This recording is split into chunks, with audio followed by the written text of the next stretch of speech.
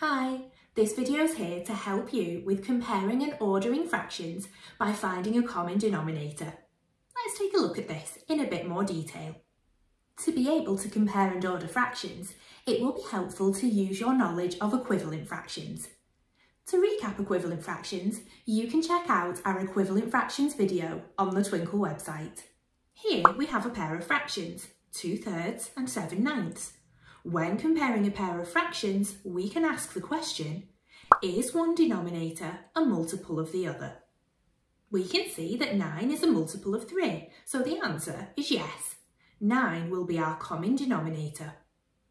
I know that 3 multiplied by 3 equals 9, so I must apply the same rule to the numerator. 2 multiplied by 3 equals 6. So 2 thirds is equivalent to 6 ninths. Both fractions now have a common denominator. To compare them, I can now look at the numerator. 6 is less than 7. We can use our inequality symbols to show which is less than. As a reminder, this symbol means less than and this symbol means greater than. And if they are the same, then they are equal. Using our inequality symbol, we would say that 6 ninths is less than 7 ninths. Therefore, 2 thirds is less than 7 ninths.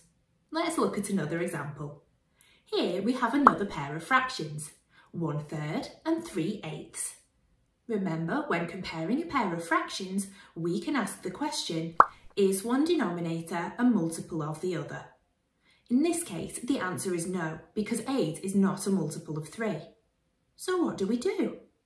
Well, all we need to do is find a common multiple of both denominators.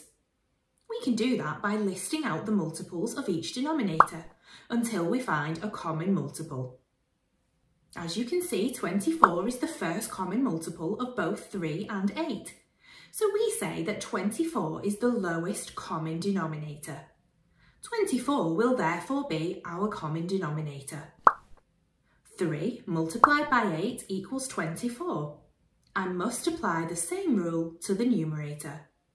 1 multiplied by 8 equals 8. We would say 1 third is equivalent to 8 24ths. Now let's do the same for 3 eighths. 8 multiplied by 3 equals 24. I must apply the same rule to the numerator. 3 multiplied by 3 equals 9. We would say 3 eighths is equivalent to 9 24ths. Both fractions now have a common denominator, which means that we can use the numerators to order and compare. We would say that 8 24ths is less than 9 24ths, so we would use our less than symbol here. Therefore, one third is less than 3 eighths. Now it's your turn.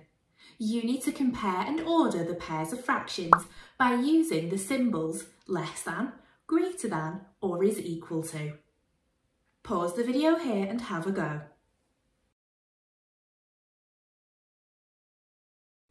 All finished? Fantastic. Take a look at the answers carefully and make any corrections that you need to. Here are the lowest common denominators for each fraction too.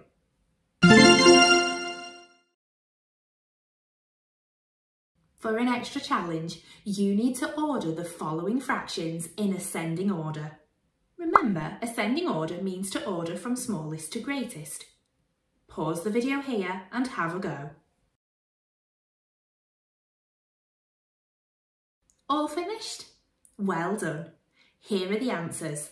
You could have used 36 as a common denominator, like this.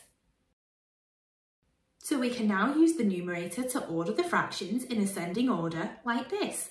5 eighteenths is the smallest, then it's 2 sixths, followed by 5 twelfths, and finally 23 36ths is the greatest. I hope you found this video useful. Check out the Twinkl website for lots more helpful maths videos. Hi, this video is here to help you use the numerator to compare and order fractions. We can compare and order fractions by finding a common denominator. However, sometimes it's easier to find a common multiple of the numerators and compare fractions this way. Let's take a look at this in a bit more detail. Here we have two fractions with the same numerator, one quarter and one fifth. If we represent them using bar models of the same size, we can see that one quarter is greater than one fifth. Let's look at a different example. Here we have two fractions with the same numerator, 3 quarters and 3 sixths. If we represent them using bar models of the same size, we can see that 3 quarters is greater than 3 sixths. This leads us to the conclusion that when the numerators are the same, the greater the denominator, the smaller the fraction. This is a really useful fact to know. But what if we need to compare two or more fractions with different numerators? Well, we can use our understanding of equivalent fractions to help. So, if I wanted to compare the fractions 3 fifths and 9 fourteenths using the numerator, I would first need to find a common numerator. 9 is a multiple of 3, so I can use 9 as a common numerator. I need to find the equivalent fraction of 3 fifths, which has 9 as a numerator. I know that 3 multiplied by 3 equals 9. I must apply the same rule to the denominator. 5 multiplied by 3 equals 15. Therefore, the equivalent fraction to 3 fifths that has 9 as a numerator would be 9 fifteenths. Now both fractions have the same numerator, we can easily compare them. Remember this rule. To compare two or more fractions with the same numerators, we just need to compare their denominators. The fraction with the smallest denominator is the greatest. Therefore, 9 fifteenths is less than 9 fourteenths. As 9 fifteenths is equivalent to 3 fifths, we can also say that 3 fifths is less than 9 fourteenths. Let's take a look at a question where one numerator is not a multiple of the other numerator. Here we have 5 eighths and 7 ninths. 7 is not a multiple of 5, so we need to find a common multiple of both 5 and 7. We can do this by listing out the multiples of both 5 and 7. By doing this, we can see that 35 is a common multiple of both 5 and 7.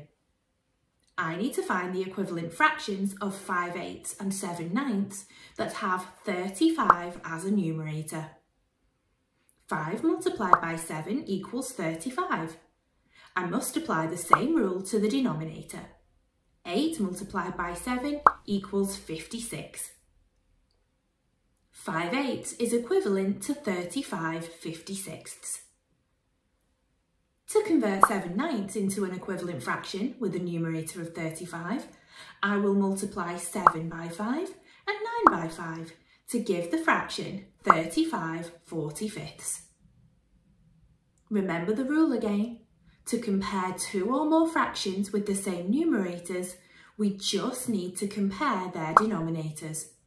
The fraction with the smallest denominator is the greatest.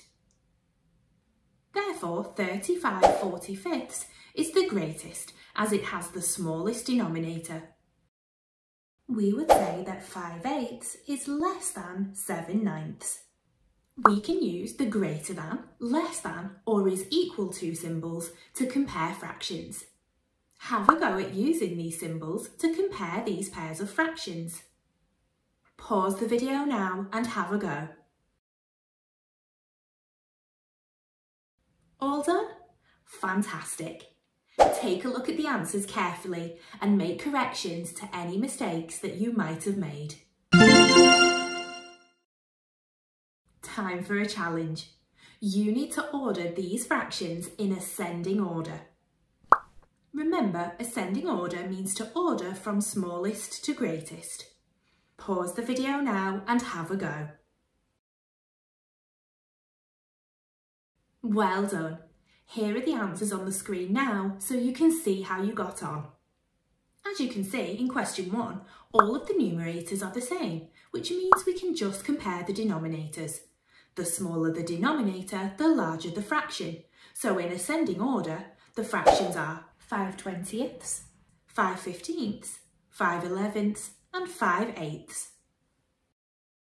For the second question, the numerators are not the same. A common multiple of 6, 12, 18 and 36 is 36. So we need to find an equivalent fraction with a numerator of 36, like this. Now that they all have the same numerator, we can order them by looking at the denominators. Remember, if the numerators are the same, the smaller the denominator, the greater the fraction. I hope you found this video useful. Check out the Twinkl website for more helpful maths videos.